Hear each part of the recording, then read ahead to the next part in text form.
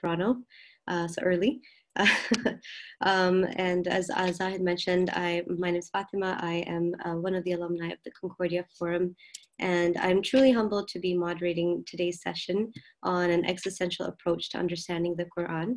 Um, today, we are featuring an incredible thinker, lecturer, and writer, Sheikh Arif Abdulhussain of Birmingham, UK, uh, where he will help us critique our basic assumptions of the Quran through an existential approach. Uh, this is a timely topic given that it is the blessed month of Ramadan and we are still in the midst of the COVID 19 pandemic, where in both cases, uh, people are seeking ways to improve themselves and the world around us. And in times like these, we do turn to our glorious book for guidance. So, inshallah, in today's session, we will discuss the interpretation of the Blessed Quran, not just through intuitive understanding, but inshallah, through sharp reasoning.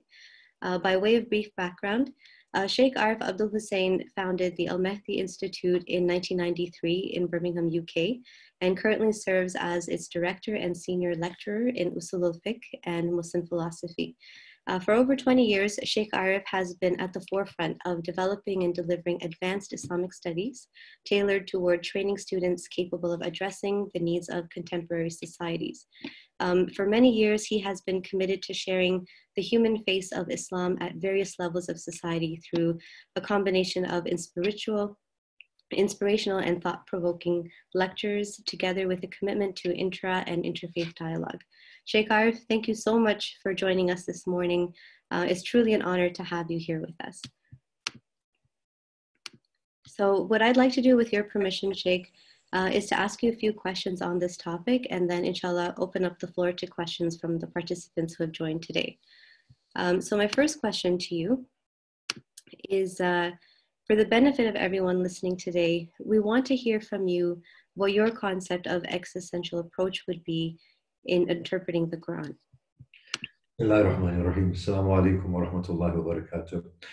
Um, thank you for having me on your program. I'm truly humbled and honored and given the and been given the opportunity to share some of my um, thoughts. Now, the existential approach, what I mean by it very simply is that the nature to which God has created the world is a yardstick to interpret the Word of God. Even if God is a transcendent being, according to, let's say, many of our theologians, yet the very fact that God can conceive of a world which is temporal, evolutionary, which has variety and relativity inside it, shows the fact that he has conceived of such a world, that his nature is reflected in that world to an extent. And the fact that he has spoken within a temporal world, which is a world of growth and relativity, shows that this notion of evolutionary growth and relativity can be the hermeneutical keys towards understanding his communication. And that is, in a nutshell, what I mean uh, as the existential approach. Okay, thank you. Now, based on the existential approach, um, I understand you are going to critique the basic assumptions that are held around the nature of the Quran. Um, one of the assumptions we have is that the Quran is all comprehensive and it consists everything within it. How do we now understand this through the existential framework and how does this then tie up with previous scriptures? So th- thank you very much. It's an all pressing question here. As Muslims, we have this notion that the Quran consists of everything. We have these sort of verses that there is nothing dry or wet, nor leaf, leaf falls from the tree, but that it is within the apparent book.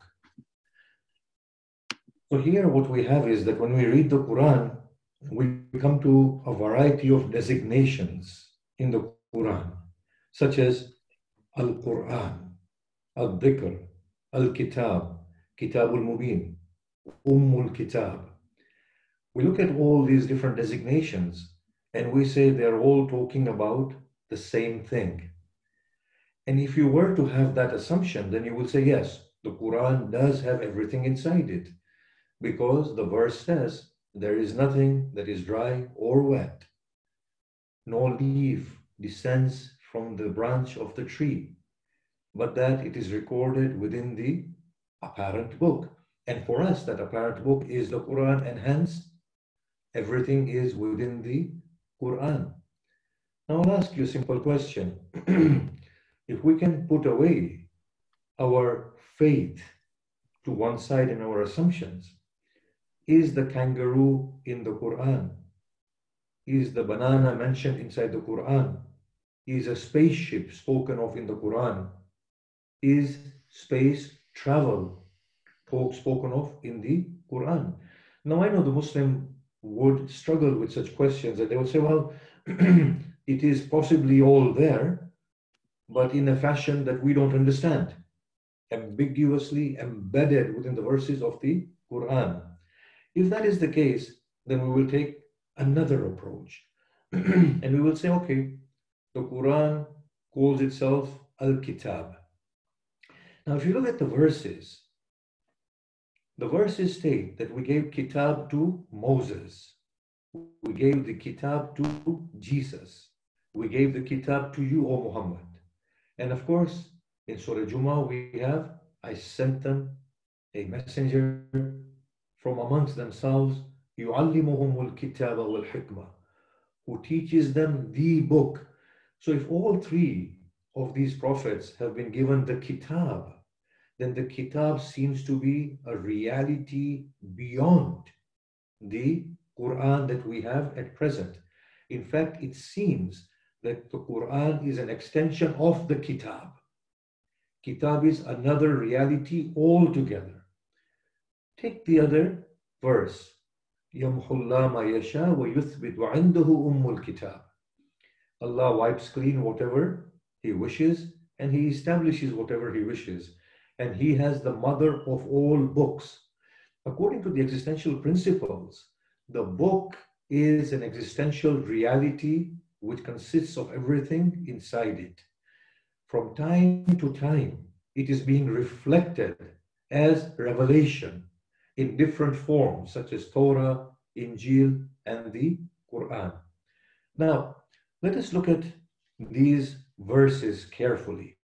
In Surah Waqi'ah, we have this verse, إِنَّهُ لَقُرْآنٌ كَرِيمٌ فِي كِتَابٍ مَكْنُونٍ It is the noble Quran within a concealed book.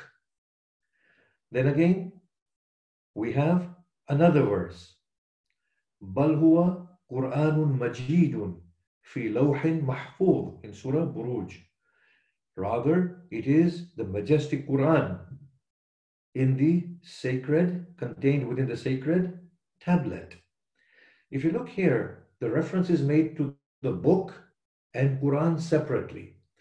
Now, even if that is not clear, we can go to another verse and another set of verses, and they're scattered everywhere within the Quran. if you look at Surah Fussilat, it says, Kitabun Fussilat Ayatuhu Qur'anan Arabiyan, a book whose verses have been set apart as an Arabic Quran. So, book is one thing. Arabic Quran is a reflection of that book or an extension of that book. The book is an existential reality consisting of everything. Then again, we have another verse. Hamim wal kitabil mubin. Hamim and the apparent book. Now look at what comes after. Inna ja'alnahu Qur'anan Arabiyan. We have made it into an Arabic Quran. So Kitabul Mubin, that has everything that is dry, everything that is wet, no leaf descends from a branch, but that it is recorded within the Kitabul Mubin, that Kitabul Mubin has been made into an Arabic Quran.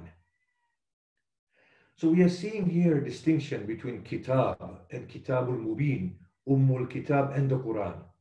If you look at the verses of the Quran, and there are many, many, many, we gave Jesus, taught Jesus the book, the Torah and the Injil. So book is a different entity and the Torah and the Injil. If you look at the Quran carefully and study the verses, you will see that no, Kitabul Mubin, Umul Kitab, these are overwhelming truths, existential, which are then reflected in differing regions to different people in their language appropriate to them. Such an analysis will say that the Arabic language is not an essential feature of the Quran. The Quran is beyond the Arabic language. The Quran is reflection of an overwhelming reality. Now, if we were to just conclude this particular small discussion and say, وَالَّذِينَ يُؤْمِنُونَ بِمَا أُنزِلَ إِلَيْكَ وَمَا أُنزِلَ مِن قَبْلِكَ The description of the believers in Surah Baqarah when the Prophet arrives in Medina and faces a pluralistic community. The Prophet does not antagonize them. Rather, it states to the Abrahamic community there that the definition of a God conscious person is the one who brings faith in everything revealed unto you, O Muhammad, and everything revealed before you. Now, if I were to admit to myself that I believe in everything re revealed before my revelation, that shows that there is, in essence, no difference between what was revealed previously and what is being revealed now. The difference is only in the cosmetic parts of the language, the sort of examples that are used, the sort of formulations that are given. But in essence is one reality. And that one reality that is being revealed is the reality of the Kitabul Mubin or the book or whatever other reference point the Quran gives. So that is uh, what I would say about the Quran and the comprehensive nature of the Quran. No, does not have everything inside it. The Ummul Kitab or the Kitabul Mubin has everything inside it. Now, if you look at this uh, verse, إنه لقرآن كريم في كتاب مكنون. It is the noble Quran within the secret book. لا يمسه إلا المطهرون. None may approach it or touch it, save the purified ones. Now, the legists have understood this verse to mean that you can't touch the words of the Quran without having physical ablutions and purity. Of course, when this verse was revealed in itself, there was no notion of doing physical ablutions to touch the Quran. Yes, there was a notion of physical ablutions given to the Prophet by Gabriel before you pray the daily prayers. But this notion of touching the Quran without ablution wasn't there at that point. So here, as our grand mufassirin have speculated, such as Tabatabai, this purity means the purity of the mind and the soul, so that the ambiguity of the Quran can be unraveled by the people who are endowed and they can reach through the Quran, they can reach the overwhelming existential reality. So the Quran directly does not have everything inside it. It's Kitabul Mubin. And Quran is a reflection of that in an ambiguous form at times, in a clear form at times, in a very practical, pragmatic form at times, but it does not consist of everything within it at face value. That's such a beautiful explanation. Thank you for that. Now, Sheikh, we have this notion that the Quran is eternal and applicable at all times and regions. So, how do you reconcile this idea with your evolutionary existential approach? Um, and the fact that the human society is always on um, and requiring newer form to accommodate their evolution. So, the real thing when we say that the Quran is eternal, the real thing that the legists mean is that the application of the Quran is eternal. You see, if the Quran is the word of God, God is eternal. If it is a final revelation, there is finality to it, then that means it is an absolute binding communication. The way God speaks to us is in a language that we understand. And therefore, the words of God are to be appreciated at face value. If we put all of that together, it brings in the consequence which is that the Quran is applicable literally till the end of human existence on the face of this earth, which then means that women get half the share of inheritance. Men have this predominance over women ordained by the Quran. We take slavery, we take slaves, we have concubines, we have female inferiority male superiority, in witnessing, and in the roles assigned to each of the two genders. So we come out with notions that intuitively we can't swallow. We know that, that slavery doesn't make sense, but the Quran has not abrogated it or abolished it. We know that all right hand ownership doesn't make sense. We know that in regions where women are not only carers, but are also providers, it doesn't make sense that they have half the share of inheritance and males have twice the share of inheritance. So here is a problem that we have in our minds. And I'm just going to give a little bit more to it, uh, problematize this particular issue before we go into it.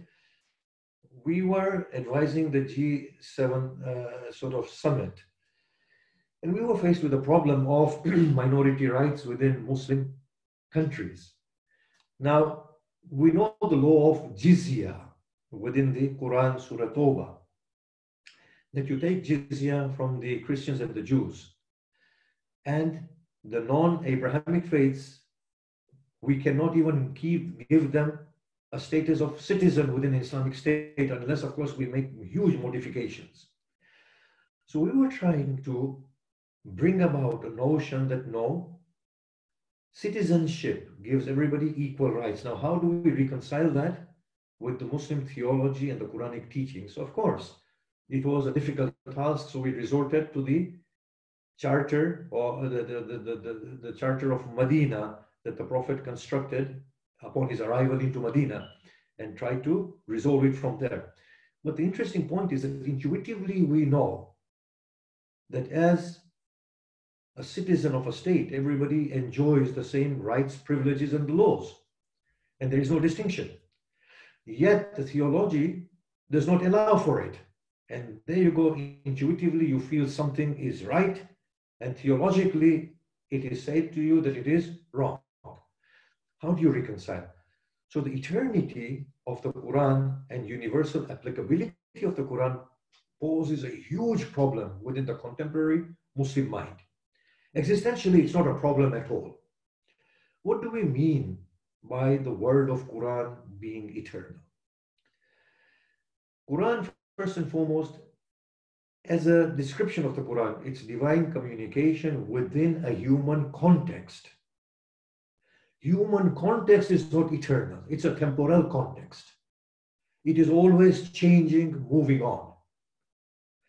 So the eternal part of the Quran is the essence of the Quran.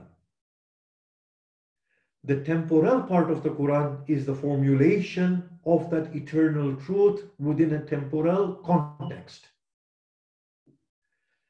Now let us work into it a little bit more. From the last discussion we had, we have three successive revelations, Torah, Injil, Quran, that confirm each other's validity. What has changed in these three successive revelations? Did the theology change in the sense of there is one God? Did God human relationship change that we are supposed to be obedient to God? Did the soteriology change that salvation comes through believing in God and performance of righteous deeds?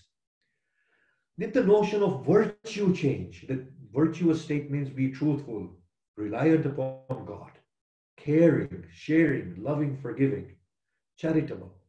Did spiritual morality change that do good work for the sake of God? We are finding none of these things has changed. The only thing was it was packaged in one language and then it was packaged in another language.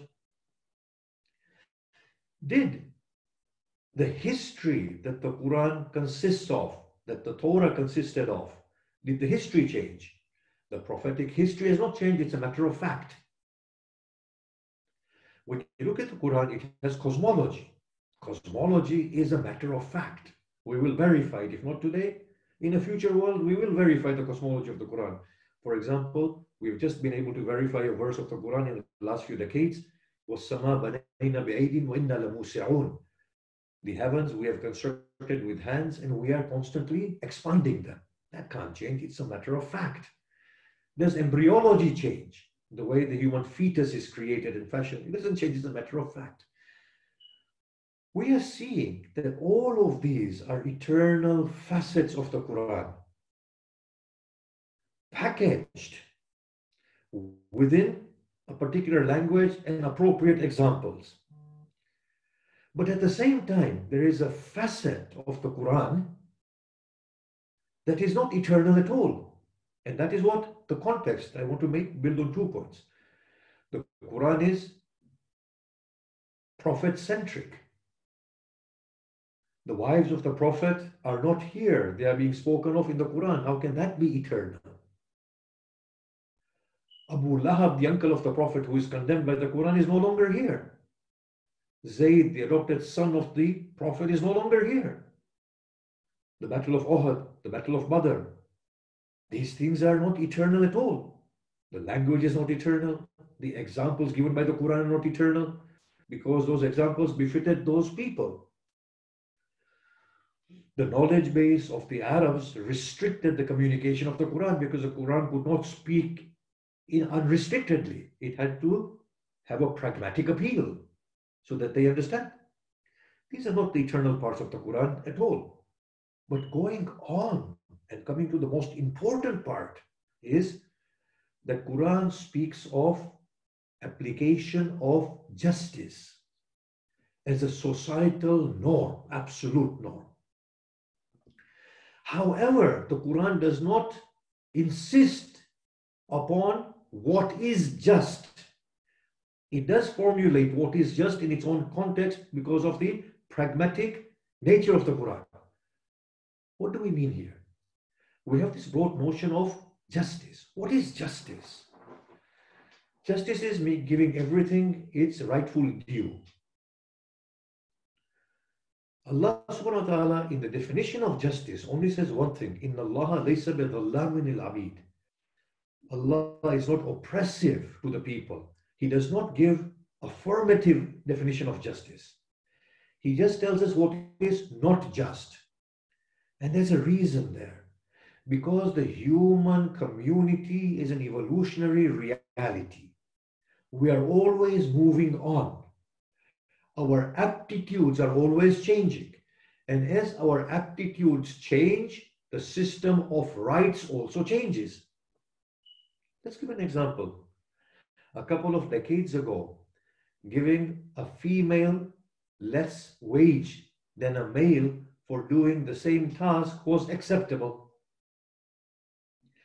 Today, it is seen as unjust. If there was a standard for justice, it would have been unjust two decades ago. It is only with the growth of human nobility, human aptitude, that today not having equal pay has become problematic. A century ago, for a woman not to have the right to divorce was not unjust. Today, it is unjust. So God does not stipulate what is just beyond his own context. God just says, uphold justice. But justice is always fluctuating from era to era, from time to time. With that in mind, it's an existential property. With that in mind, when the Quran says that summon two male witnesses if you are out on travel and you want to transact or give a loan. And if you cannot find two male witnesses, then find one male and two female so that if one forgets, the other one can remind her. Now, we have taken that as an eternal law of the Quran, but the Quran is being very pragmatic in giving this law. It is saying that the aptitude of women at this point is such that they are not accustomed to retaining knowledge. One woman is fine, but if she forgets, then the other one can remind her. But if you come to a time where a woman does not forget and can bear accurate, accurate testimonials and retain knowledge, then there is no need for another one because her existential potential and aptitude has been actualized. Back in the day, within the warring sort of culture of the Arabs, the women were left uneducated, untrained. So even the Quran is giving the essence there, that the essence is accurate testimonials. But given that the society is this strong and this weak, God apportions it in that way. So the law of just law is not what the Quran is saying there. That is not eternal at all. That is the Quran at a pragmatic level, giving us how justice is to be applied in your context. Similarly, women cannot divorce This is not eternal. Or that the verse, الرجال قوامون على النساء that men have qiwama, some type of superiority over women. But the verse says, بِمَا فَضَّلَ اللَّهُ بَعْضُهُمْ عَلَى بَعْضٍ in accordance with what God has blessed some over others. Now, this blessing is an existential property. It increases and decreases. Back in the day, it was a warring community. The man had the strength, I'm just giving one interpretation, and could go and defeat the enemy. He was the breadwinner. In today's world, the thing is very different. What if in future there are no wars, or if there are wars, they are conducted by drones, and the women have the best ability in their imaginative capacities to control the drones, then obviously they have a greater grace than men have. So these rights are in accordance with existential aptitudes. Same with inheritance or the blood money, but the inheritance is within the Quran that the male get, gets two shares of the inheritance and female gets one share. But that is obviously due to the social roles assigned to each in that societal setup. That a man is a provider, woman is a carer. Now, wherever a man is a provider, woman is a carer, I agree. That sort of distribution of inheritance would work. But in the Western Hemisphere, in the what we call the, obviously in Europe and America, and other such regions where women are providers and are carers, it is unjust for a woman to receive half the share of inheritance in comparison to a man. So the Quran talks about a just system of according rights. But justice that the Quran gives in the verses is in accordance with the aptitude of its own community. And the notion of justice and just is contingent to the existential aptitudes that are always changing. And therefore, that part of the Quran, the societal laws are not eternal at all. So, decapitation of limbs, public flogging, beating women, divorce, inheritance, right hand, ownership, slavery. These are societal norms and laws. These are based on notion of justice, human morality, dignity that is always evolving, exists potentially. These are not at all stagnant or eternal. What is eternal are the ethoses that they carry. And the Quranic verses have the ethoses, as we said, that if one woman forgets, let the other one remind her. Obviously, I would like to make an exclusion to the devotional aspects and the consumables that the Quran talks about and the laws of decency. But even if you look at the devotional aspects that the Quran gives, there is no eternity to any form of namaz or fasting or hajj. There isn't. You go to a region where sun does not rise or sun does not set. The daytime is no longer understood in terms of daylight hours. That was their immediate context of the Arabian community.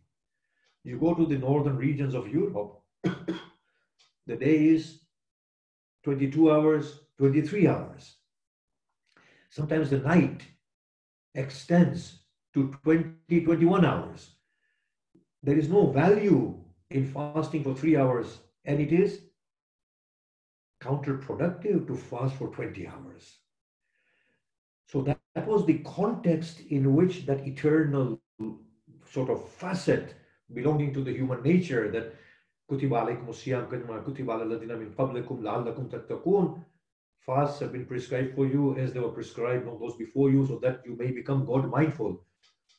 The verse does not say, a dear friend of mine says, so that you may die out of hunger, so that you may become God mindful. So God mindfulness, and look at today's intermittent fasts. The human mind is getting there anyway as well. So now the Quran talks about the essence of fasting, that when you are fleeing, then pray on horseback or running. When you're on horseback or running, there is no qibla, there is no ruku, there is no sujood. The Quran itself is saying that the essence of being spiritually connected with God in a context is to do with direction as an identity need is to do with ruku and sujud as all the prophets have performed. But if you're up in space, you will be tumbling over trying to do ruku and sujud. On the moon, you will be levitating. So if the future human takes to space, where the year is not 360 degrees and there is no Kaaba, the spiritual God-centric connection will still be there it will require some form. That form will be contingent to the context in which the future human finds himself. I'll just give one of the hadiths from the eschatological literature. It says towards the end of time when the Mahdi and Dajjal come, this is from the Muslim literature, the broad Muslim literature, uh, all the sects agree to it, that each year will become as long as seven years. Now, how many times will Ramadan come in that year? And how many times will Hajj will become, become wajib? And the days will slow down, so how many prayers will we be praying? Can you see this? If the day becomes 36 hours long, are we still praying, praying five times? Whereas the Quran is saying, mu'minina kitaban mawquta, that the prayer is a time-specific obligation upon the people, so that you may remember God constantly, not at sunrise, sunset, when sunrise and sunset are two hours apart or are 22 hours apart. And you have to then rush to get in Maghrib, Isha, and Subuh within two hours, as people do in northern regions of Europe. So, no, eternity of the Quran is in the theology of the Quran in terms of the notion of God, God centricity, human virtues, eschatology, in the sense of soteriology. Those are the eternal parts of the Quran. Unchangeable parts of the Quran is the history, the cosmology, the scientific things but what is very much contingent to the human community and its state of growth and progress and evolution are the systems of rites and the forms that devotions take. Thank you, Sheikh. You've unpacked so many assumptions for me personally. That was really, really mind blowing. Appreciate it. Um, I mean, given that we're uh, unraveling some of these fundamental assumptions, uh, there's mm-hmm. one I'd like to ask you about the Quran as a miracle. Um, how do you understand its miraculous nature? Yes, thank you. That's such, such, such a wonderful um, question. I'll, I, I, I, I will recall to mind the deliberations of Marhum Dr. Hadi Fadli.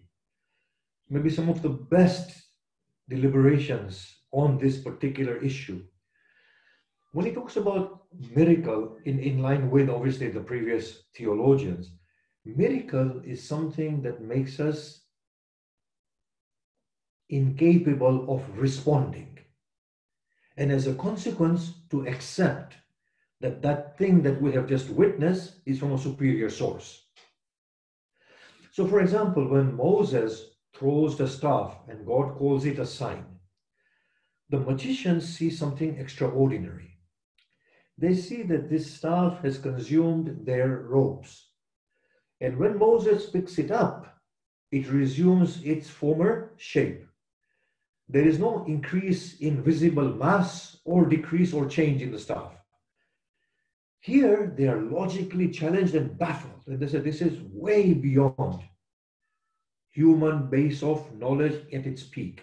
And therefore, they immediately fall into prostration. And they say, We bring faith in the God of Moses and Aaron.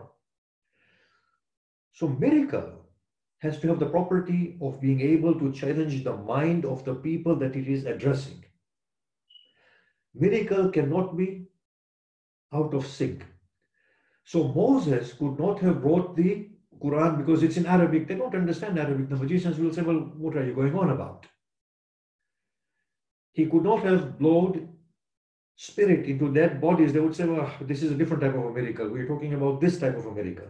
So miracle, or, you know, Bill Gates could not have brought the computer and virtual sort of gadgetry to the Arabian community. They would have just stoned him to death thinking he's a witch or something. So miracles have to be in line with the knowledge base of the people that are being challenged. Then what is the purpose of the miracle? It is so that these minds admit that whatever this thing is that has been brought about, it is way beyond the peak of our learning, and hence they conclude that it is from a superior source. That is the immediate effect that the miracle is supposed to have. What is the objective thereafter of the miracle? Fadli puts this very accurately. He says the objective is to invite people to the communication of the superior source. He says it stands to reason that the, the staff of Moses only had value in stirring the minds. It did not have any more value. The real value was for the Torah and the message of the Torah and what the Prophet was saying about the message of deliverance. That was the real message. Turn to God, be God centric, lead a virtuous life, and find salvation. That was the message. Be just. But the staff lost its efficacy totally. He says, even if you were to find the staff today in a museum, it won't make much difference. It's just a staff. What makes a difference is the message of Moses within the Torah, not the staff. So the miracle, first and foremost, it baffles the minds. And secondly, is an invitation. Well, if the source of this particular supernatural event, supernatural does not mean unnatural, it means working of nature at a level that we cannot comprehend, which does not mean we cannot do it in a future world. We will be able to throw staffs and make them into serpents as we evolve. We will become the hand of Moses, inshallah, when we get there. But the purpose of miracle is to challenge the minds and then to invite the mind to the message of that supreme source. Now, in the case of the Quran, the believers have this assumption that the Quran is a miracle. Obviously, they believe it's a miracle. But I want to ask them and think when you put the Quran on your head, does it fill your head with knowledge? It's an amazing thing. I see the Muslim community, and I myself do this, by the way. We put the Quran on our heads and we implore God. But the thing is, you go to the university. I hope my sarcasm doesn't get me into trouble. You go to the university and your textbooks that you're supposed to read, if you put it on your head, do you think you're going to pass the exam? You're supposed to read it. You're supposed to reflect upon it, contemplate it, and learn from it. So I'm saying to the to myself, when I put the Quran on my head, does it fill my head with knowledge? No. When I put it to a hungry stomach, does it feel fill the stomach? No. When I put it over the head of somebody who is without shelter, does it provide them with shelter? No. When I put it to the heart of a grieving mother, does it fill her with comfort? Does it touch her with a godly touch of love and care? No. So where is the miracle of the Quran? So here now, we will say that the Quran is a unique thing. It's a miracle and the communication both in one, as opposed to staff and Torah that were two. This is one. The miracle and communication are one and the same. So how can the communication be miracle? Previously, we thought it was the beautiful eloquency of the Quran. But we said one of the properties of a miracle is that you can challenge it. Only the masters of Arabic eloquency could have challenged the Quran. We are in no position to challenge the Quran's Quranic eloquency. Because when the Blessed Prophet had the smallest surah written and pinned to the wall of the Kaaba, the greatest poet said, Inna atina kal kawthar, after him, Wallah ma hadha kalamul bashar, by God, this is not the word of man, it is from a different source altogether. He conceded but I don't have the appreciation of Arabic language to that level. None of the Arabs have it anymore. That level of appreciation of eloquence has been lost. So, what is the challenge of the Quran? What is the miraculousness of the Quran? It is in its meaning embedded within its meaning.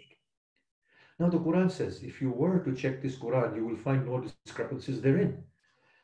Amazing thing is that the Muslim assumes there are no discrepancies, but never goes out to look for discrepancies. If we could go out and look for discrepancies within the Quran and failing to find them, we conclude that there are no discrepancies, maybe we will open up to the miraculous nature of the Quran. The Quran is phenomenal. It is beyond anything I've read. The sequences of the verses, the endings of the verses. A verse, the Blessed Prophet recites at the beginning of his missionary role, and one in the middle and one at the end. And when you compare the three, there is full consistency. How could he have retained that? Let me give one or two examples. Allah says in the Quran, and we took you out of the wombs of your mother. We gave you hearing, seeing, and thinking. Little is the thanks that you give. Now, if you look at this, analyze this medically, the fetus starts hearing first, then the baby starts seeing, and then we compare knowledge and start thinking. It's phenomenal. And there is consistency in this verse again and again. Even the sequence of this verse is extremely meaningful. Look at the embryology of the Quran. Look at the fact that it says, We created the heavens with hands and we are expanding it. And we made from water everything living. Look at these verses, they are mind blowing.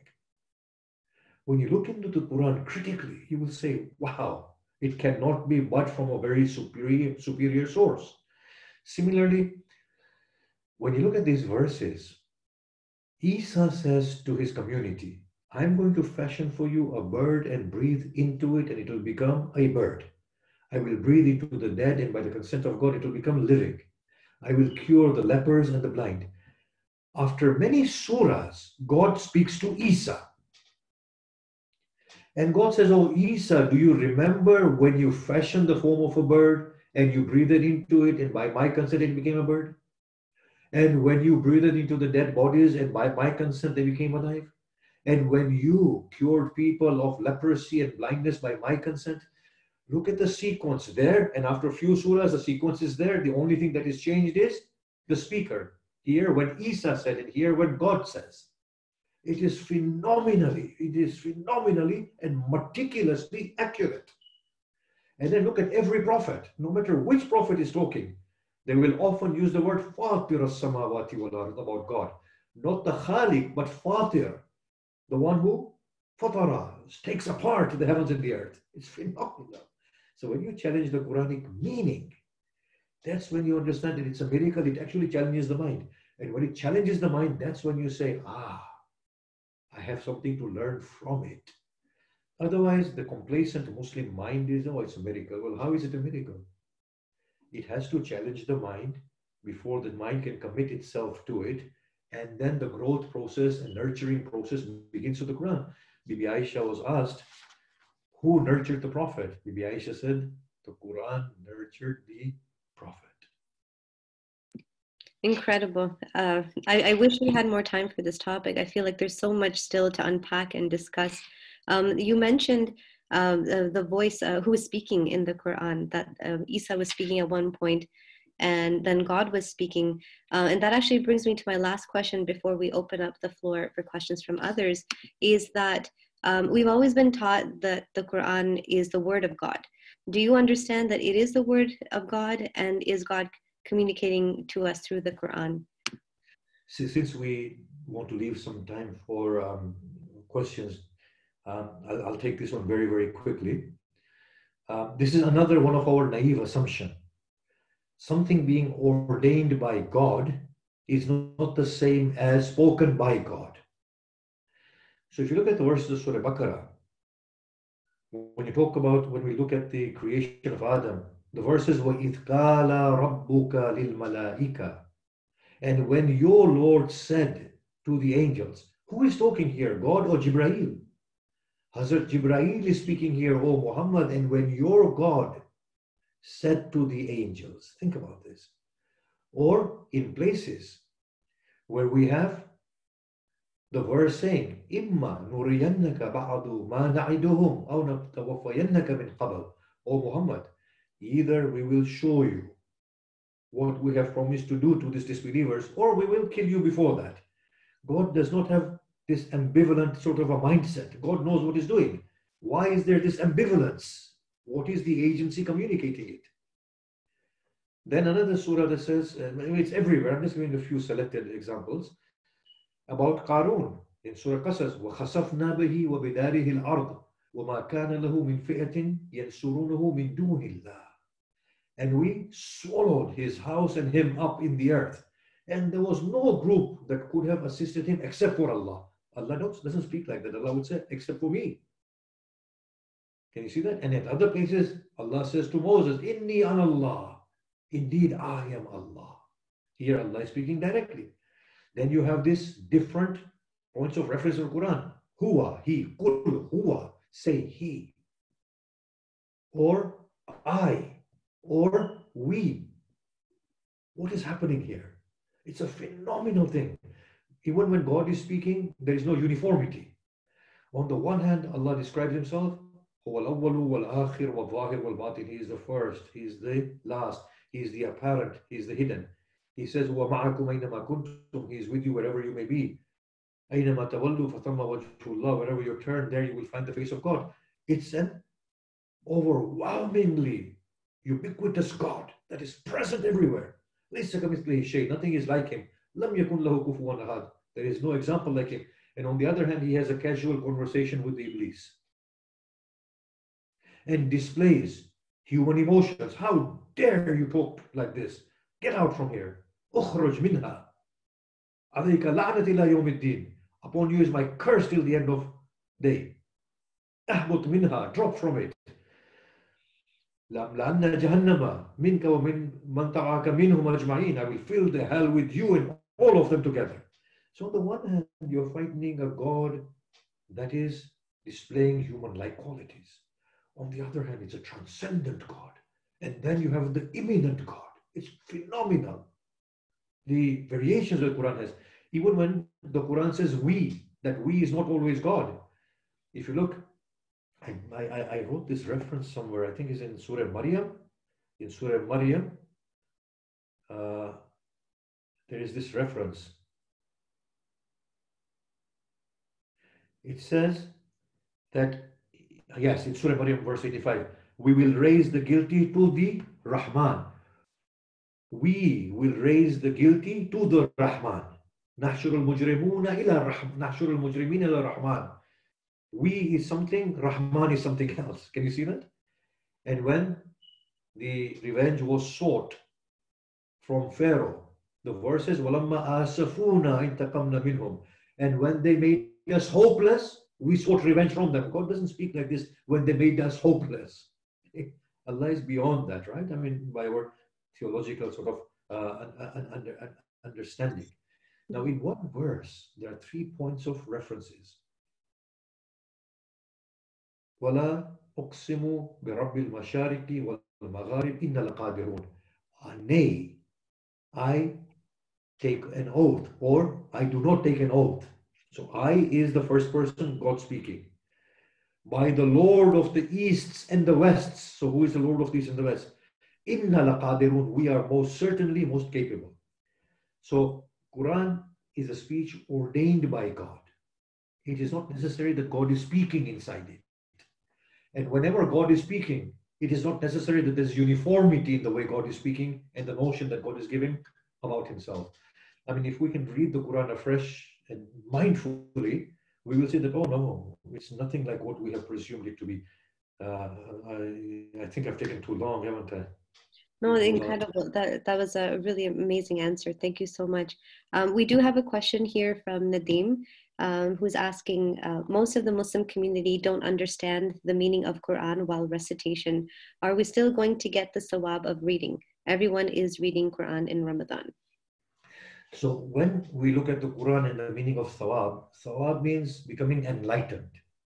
So if a person reads it in Arabic and becomes enlightened and purified in the soul and more virtuous, then they've got the thawab immediately.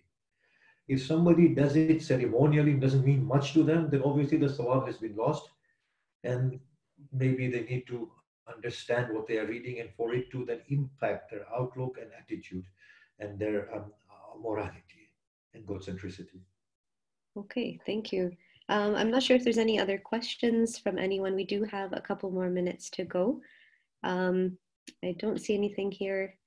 Um, we'll just wait, give people a few more minutes to see if they have anything to ask. Uh, in the meantime, Sheikh, I did have a question for you, a little bit um, uh, uh, off topic, but I guess relevant um, relevant um, for the group here is mm-hmm. that um, you know taking an existential approach uh, when we praise Allah and are in conversation with God, it's our individual prayer, but we say, guide us on the right path. So we are forced to think beyond ourselves.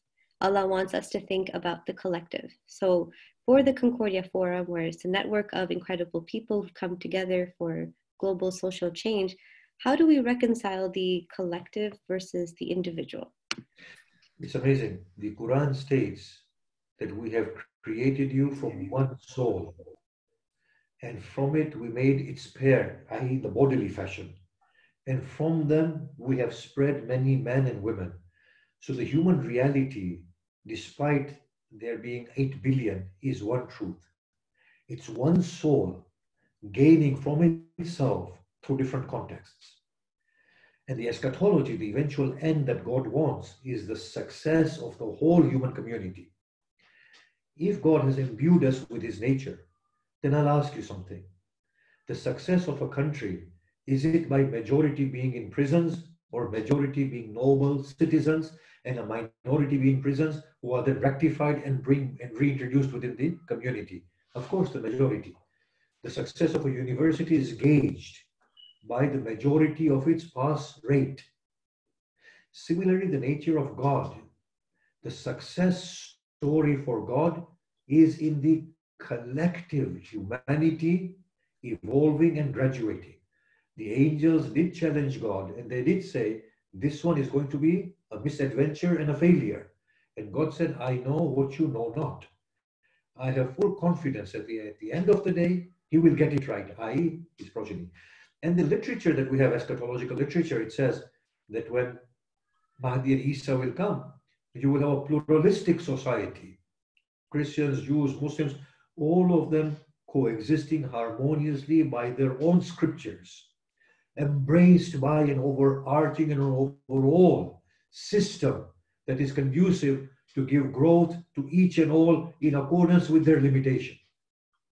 So collective is the only reality. The individual reality is quite deceptive. The Prophet emphasized the collective well being, and somebody pressed him for that. So the Prophet gave him an example. He said, If we were all on a boat, of course, there were wooden boats back in the day, and somebody in his spot that he has bought and owns legitimately starts making a hole, what would you do? He said, Well, I'll stop him. He said, Well, it's his spot. He said, I know, but his actions will cause destruction for the rest of us. The Prophet said, Such is the nature between the individual and the collective. That the individual is supposed to be subsumed within the collective because the destiny of all affects the destiny of individual and the destiny of individual affects the destiny of all. Now, if you look at every prophet, apart barring two, Nabi Khidr and Yahya, possibly these two. All of the others were social reformers. They did not sit at home, no, retreat to their caves. So the Muslim body is called an ummah. For me, ummah does not mean collection of Muslims. Ummah means what the Prophet constructed in Medina with its pagan, with its Jews, with its Christians, with its later on Sabians and Zoroastrians. Ummah for me means a human community. Awesome, thank you. Um, we actually have a few more questions here, but we're also running out of time. So with uh, your permission and um, for Hatim, Randa, Shajil, and Paul, if you don't mind, um, we can take your questions offline for Sheikh to answer. Um, there is one here, um, if you don't mind, Sheikh, uh, um, from Farina. she's saying, um, isn't the meaning of thawab reward rather than enlightenment? My understanding is that there is a separate reward for reading the Quran and also for understanding it. So if you can answer that, and I believe Uncle Kalfan from New York wanted to, to say a, a word or two as well. So then inshallah we can wrap up. So, so if you look at the Quran, the Quran will say, this is the reward you have earned. This is the punishment that you have earned. What it means is that existentially, existentially, we either evolve and become godlike, or existentially, we become regressive. We then manifest our own self in the form of paradise. There is a paradise, but our reception of paradise is contingent to what we are within. And there is a hell, but our reception to hell is contingent. It's like two people being thrown inside the dungeon. It's the same dungeon, but they will have two different experiences. Two people going to an opera. One is accustomed, fine tuned to listening to music and opera. The other one doesn't understand it. They have two different experiences. So reward is not like getting a a present and a packet of sweets. Reward is the completion of godly light, as the Quran says, Surah Hashr and Hadid, that you will see the believers with their light emanating from their foreheads and from their hands. And in another surah it says, they will plead to Allah and say, oh Allah, complete our light for us. So there are no back sacks of gold or diamonds being given as reward. Reward is what you become, and you are the eventual creator in the afterlife. Amazing, thank you. Uh, and with a few seconds left, uh, I'm really sorry about that, Uncle Kalfan, but if you'd like to say anything, uh, the floor is yours, inshallah. Yes, uh, Bismillah ar-Rahman rahim uh, There is a verse in the Quran, Allah say, Bismillah ar-Rahman rahim If the Quran was revealed on the mountain, the mountain will split open and bow down to Allah. And Allah says further that He wants we to ponder on the Quran that we just don't read it, but we, we, we understand the meaning and ponder. And number two item, I want to say that the children between the age of three and 11 can learn nine languages and we don't teach them Quran. They neither learn how to read, write and understand, which is, which is very sad thing to do. Thank you. Thank you, thank you, thank you. Okay, well, thank you so much, Sheikh Arif. It's been an enlightening uh, morning here in Toronto, I think afternoon for you in UK. Thank you so much for sharing your, your wisdom and insight with us. Uh, and inshallah, I hope we can keep this conversation going. Um, Zahid, I think I'll pass the floor back to you. Fantastic. Thank you so much, uh, Fatima. Uh, great job, by the way. And thank you, uh, Sheikh uh, for sharing your wisdom for the past hour.